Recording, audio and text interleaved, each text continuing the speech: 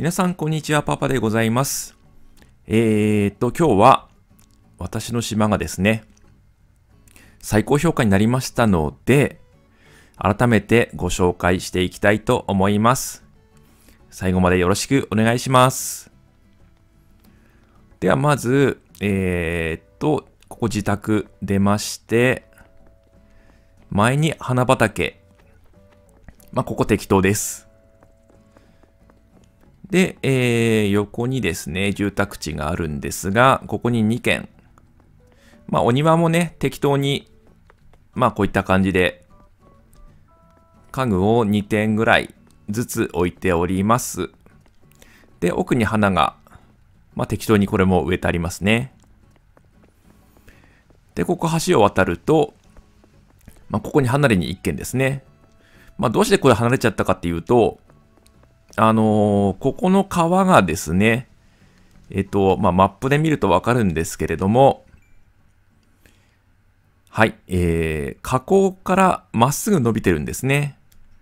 あのー河口の位置は変にこう曲げたりしないで生かそうと思いまして、そうした結果、この河口からまっすぐ伸びた形になっております。えー左側に出ている加工、そこもですね、その加工の位置は無理に埋めたりしないで活かしてありますので、まあ全体としてこういった L 字型にですね、皮が伸びている状態でございます。で、えーそうですね、まあここ来たんで、えっ、と、まあここ、なんかまあ、物が少ないんですけれども、一応ゴミ置き場というような存在、場所になっております。で、ここからですね、下へ降りていきますと、ここ以前、えー果樹園を作った動画でご紹介しました、まあ、かつての農場主のお家でございます。で、この下がですね、果樹園だったんですけれども、ここちょっと工事中の道がありまして、なんと果樹園がですね、えっ、と、囲碁をたしなむ囲碁会館になっております。まあ、これ畳はちょっとですね、マイデザインで作ってみたんですが、まあ、結構適当な割には、なかなか良かったかなと、いい出来かなと、個人的にですね、思っております。まあ、ちなみにマイデザインですね。まあ、どうでもいいんですけれども、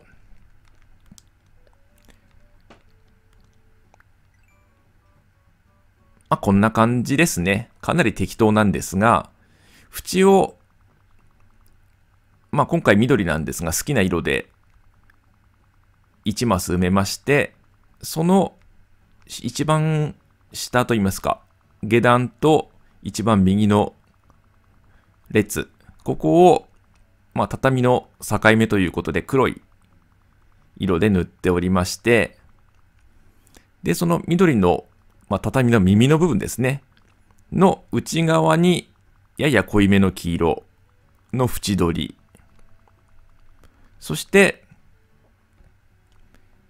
中は、まあ、一段薄い黄色で塗った後に一個ずつこの縁取ったやや濃いめの黄色で線を引いているだけのすごく単純なデザインなんですが、まあ意外とですね、えーたた畳っぽく見えてるかなと思っております。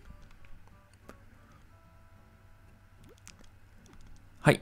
えー、ではですね、まあマイデザインはどうでもいいとして、こちら、これはですね、あのーまあアサリをここで取った時に、その場で巻き餌を作るための作業台です。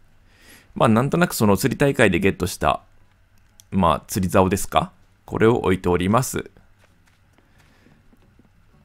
はい。で、ここがですね、橋が2つつながってるんですけれども、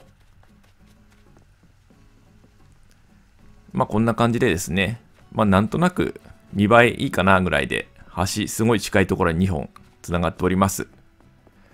そして、ここが商店と、その後ろが博物館。敷地内には T-Rex の化石が飾ってあります。で、この横が案内所ですね、広場。と案内所の前が、まあ、適当に余った場所なんですけれども、作るものに困って、まあ、適当に池を作り、石碑を置いて、まあ、なんとなく和風にしてみました。飛行場から出ると、まあ、こんな感じですね。で、こちらがですね、まあ実はあんまり定まってないんですけれども、まあ和風な、まあ何かカフェとかそういったものを作ろうかと思って、まあ中途半端な状態になっております。ここにもうちょっと、なんでしょうね。まあスツールですとかベンチでもいいんですが、何か置きたいなと思ってます。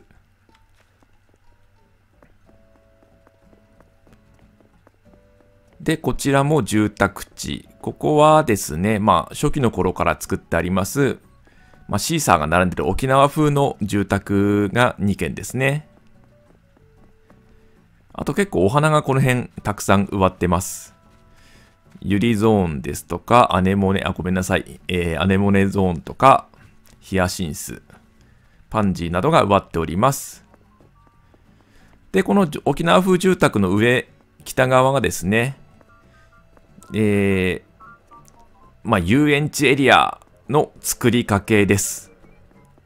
いろいろごちゃごちゃと置いてあります。まあ、ここに関してもですね、本当はこの角にヒーローロボを置きたいんですけれども、えっと、またですね、金鉱石が集まってないんですね。そのロボットを作るための材料なんですけれども、その金鉱石が出ればロボットが作れるので、できたらここに置こうと思っております。で、この上がやはりシーサーを石獅子を飾った住宅2軒とお花ですね。まあ、結構お花の量はそれなりに多いかなと。この辺だけでもかなり植わってますね。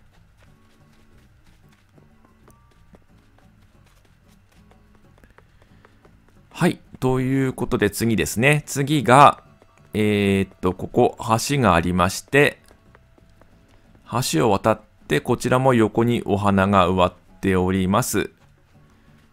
で、ここに一軒家ですね。そして、この辺もお花が植わってまして、階段。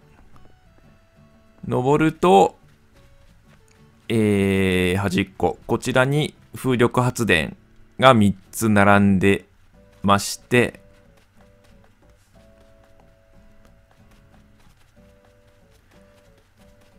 また階段。ここ登ると、えー、入浴施設ですね。五右衛門風呂ですとか、露天風呂あります。海が望める露天風呂になっております。結構草生えててもですね、その島の評価をどうやら落ちないみたいで、えー、雑草、まあ、時間を送ったりしたことによって雑草がもうすごいたくさんもうもうと茂っていても、全然島の評価は落ちないので、まあ、今回はですね、その点、あつ森優しいかなと思っております。ここ卓球台と、まあ、竹のスクリーン、これちょっと使いどころがあまり思い浮かばなかったので、適当にここに置いてあります。で、ここが、えっ、ー、と、この島の水源となります湖。ここから滝が流れていきまして、2本、2つの河口へと流れ込んでおります。まあ、この辺もちょっと何か置きたいですね。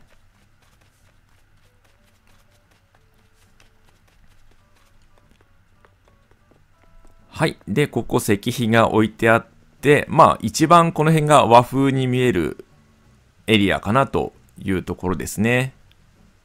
赤い橋も唯一ここだけ作ってあります。で、灯籠と、またここに一軒家ですね。で、まあ、ここを来るともう自分の家に戻ってくるわけなんですけれども、えっと、こちら、土の道を行きますと、まあ、この辺も未開拓というようなことで、あえて道は作ってないんですけれども、まあ、未開拓なイメージですね。橋も丸太にしてあります。で、この辺道がない状態でですね、えっと、ここに、まあ、ちょっと仮なんですけれども、真四角の生けす的なものを作ってあります。あ、飛んじゃった。ここはですね、あの、崖の上でしか釣れないような魚を釣りたい時に利用するための、まあ、2つの池ですね。えー、っと、続きまして、ちょっと右行きますと、ここですね。あの、以前果樹園だったところをここに移しまして、まあ木の本数は変わらず、各フルーツが3本ずつ植わってます。で、この先、パラボラアンテナがありまして、ここに常騎士の船が到着。そして、こちらがキャンプサイトになっております。まあ、あの、バーベキューグリルみたいなものも本当は置きたいんですけれども、ちょっとまだ巡り合ってないんですよね。はい。ということで、ここを曲がって戻ると、まあ、これで一周ですね。一周回ってきちゃいました。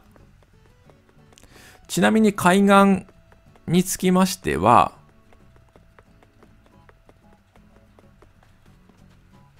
まあ、ほぼ何にも、ほぼというか、何にも、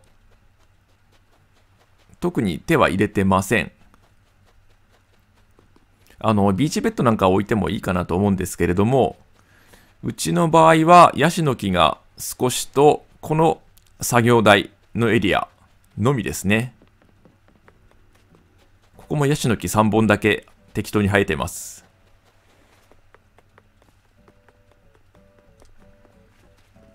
この辺も、まあ、適当に割ってるだけですね。この辺もすごい空いてるんで、何か、その、ビーチ関係のものを置けたらいいなというところですね。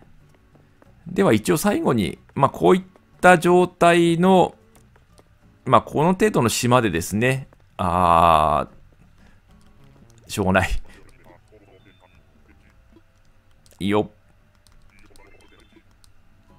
まあこの程度の島でですね、評価が最高になるという、まあ参考になればいいかなという動画でした。まあ一応最後に評価聞いてみましょう。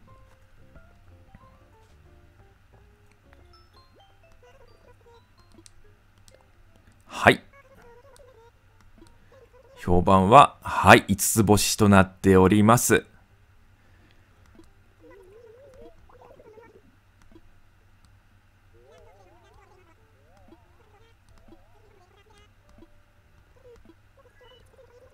はい。まあ、一度最高評価になりますと、多少、なんか木を抜いたりとか、物を動かしても、あんまり下がらないような印象を受けました。